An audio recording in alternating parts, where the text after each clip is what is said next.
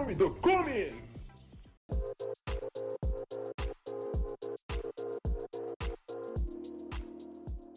쇼미더 고민 시작해 보겠습니다. 부산 감만 1구역 재개발 구역에 관심이 있으시다고 하는데요.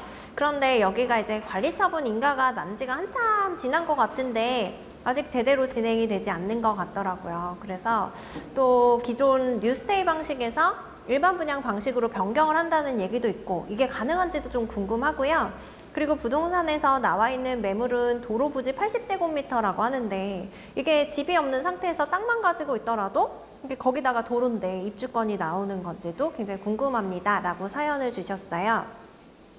부산의 간만 1구역 재개발 사업을 제가 굉장히 잘 알고 있죠. 여기도 굉장히 우여곡절이 많은데 2020년도 10월에 이제 관리 처분이 났다가 2022년에 이주를 시작했지만 아직까지 이주가 다 되고 있지 않은 그런 사업지죠.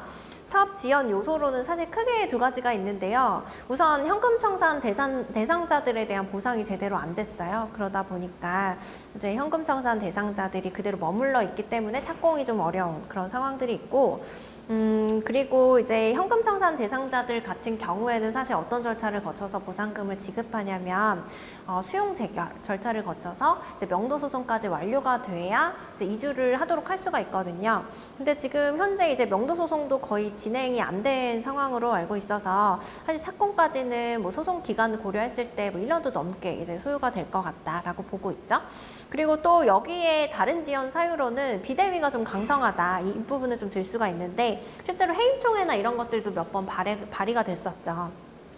간만 1구역 같은 경우에는 뉴스테이 방식으로 이제 진행이 돼요. 그래서 총 세대수가 지금 9,000세대 정도가 되거든요. 근데 여기 조합원은 한 2,850세대 정도예요. 나머지는 일반 분양 세대라고 보면 되겠죠. 그런데 부산에서 이렇게 대규모 공급이 좀 이루어지게 되면 이게 미분양 우려가 커질 수밖에 없겠죠. 그리고 이거에 따라서 또 시세 하락이 이어질 수밖에 없는 거고 그래서 이제 뉴스테이 방식으로 좀 전환을 했던 거죠. 뉴스테이는 공공 임대와는 다르게 이제 기 기업이 시세보다 낮게 매입을 해서 이거를 직접 8년 동안 임대 아파트로 공급을 하는 거예요. 그 다음에 이제 매각을 하는 형태이기 때문에 사실 분양 물량이 어, 기업의 임대 물량으로 넘어가게 된다. 그래서 미분양 우려가 없는 사업이기는 하죠.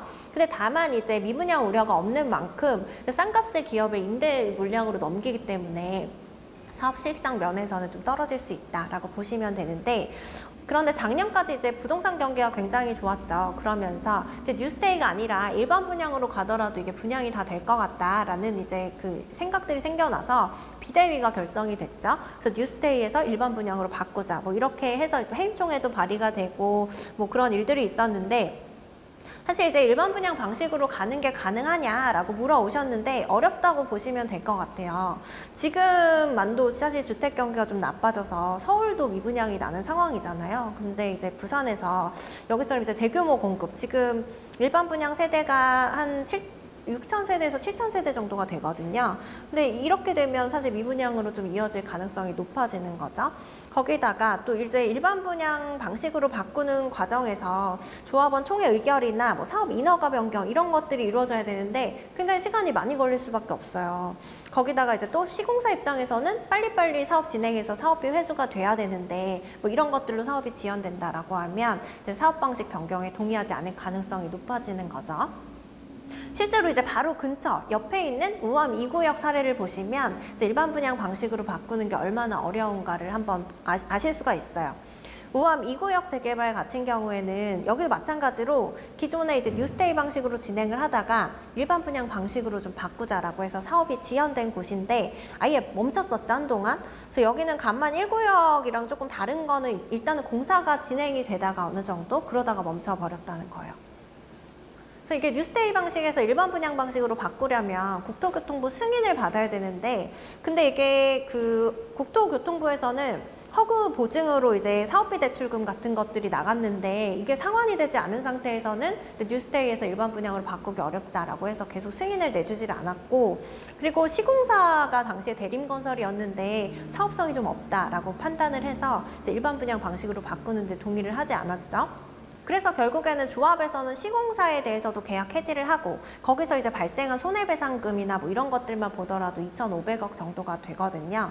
그래서 이제 이거를 좀 떠안아줄 시공사나 신탁회사를 찾았지만 결국에는 여러 번 이제 유찰이 돼서 어, 좀 신탁사나 시공사를 선정하는데 어려움을 겪었었죠.